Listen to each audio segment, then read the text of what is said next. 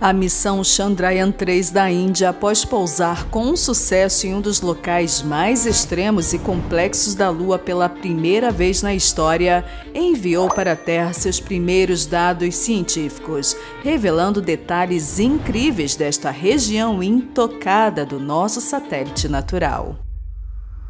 Pela primeira vez, a temperatura do Polo Sul da Lua foi detectada e o resultado deixou os cientistas surpresos. Desde o pouso do Chandrayaan-3 em 24 de agosto de 2023, a Organização Indiana de Pesquisa Espacial tem compartilhado todas as informações relacionadas à Lua com o mundo.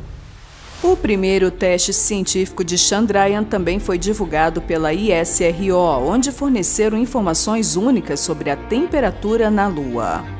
A carga útil do módulo de pouso Vikram enviou um gráfico de perfil da temperatura da superfície lunar e muitas mudanças foram vistas no gráfico. O experimento termofísico da superfície lunar, o CHART, mediu a temperatura da parte superior do solo lunar ao redor do Polo Sul, para entender a temperatura da superfície da Lua. O chart possui uma sonda de temperatura que pode atingir uma profundidade de 10 centímetros na superfície com o auxílio de um sistema de entrada controlada. A sonda está equipada com 10 sensores de temperatura diferentes. E esse instrumento detectou uma variação de temperatura impressionante. Os cientistas sempre acreditaram que próximo do Polo Sul a temperatura na superfície fosse em torno de 20 a 30 graus Celsius. No entanto, as medições mostraram que a temperatura na superfície é de 70 graus Celsius e em apenas 8 centímetros abaixo a temperatura é de 10 graus negativos, conforme mostrado neste gráfico, o que surpreendeu todo mundo.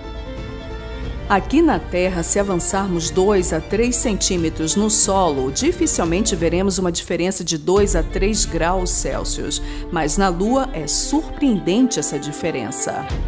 A superfície lunar enfrenta um desafio único quando se trata de reter calor. Ao contrário da Terra, que tem uma atmosfera espessa que ajuda a reter o calor, a Lua carece dessa proteção. Aqui na Terra, nossa atmosfera funciona como um cobertor, retendo o calor do Sol e impedindo-o de escapar para o espaço. Já na Lua, isso não acontece. Sua atmosfera é extremamente fina e praticamente inexistente. E como a Lua não possui atmosfera, ela sofre rápidas flutuações de temperatura. Durante o dia, quando o Sol brilha sobre uma área específica, as temperaturas podem atingir níveis extremos, mas à noite, sem uma atmosfera para reter o calor, as temperaturas despencam para níveis incrivelmente baixos. Em outras palavras, parece que a superfície da Lua é incapaz de reter o calor.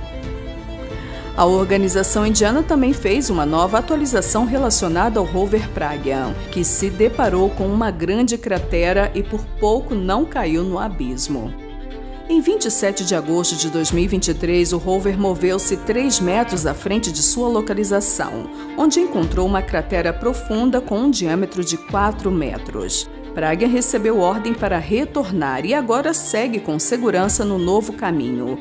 É claro que muitos desafios ainda surgirão à sua frente, mas os cientistas estão atentos a todos eles.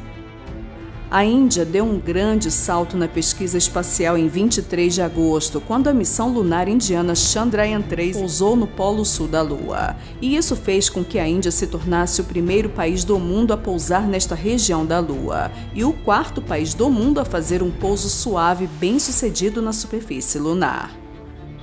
As descobertas na Lua através de missões bem-sucedidas como essa da Índia vêm nos mostrando cada vez mais os desafios que a humanidade pode enfrentar ao planejar estabelecer uma colônia na Lua. A falta de uma atmosfera estável e de regulação da temperatura torna a exploração lunar e os esforços de habitação bem mais complexos. E por isso, os cientistas e as agências espaciais precisam considerar cuidadosamente esses fatores. E você acredita que a humanidade vai conseguir superar esses desafios? O que você acha? Me conte aqui nos comentários, deixe também o seu like se gostou deste vídeo e compartilhe este conteúdo. Deixo aqui meu agradecimento especial aos meus apoiadores, um grande abraço a todos e nos encontramos no próximo vídeo. Tchau!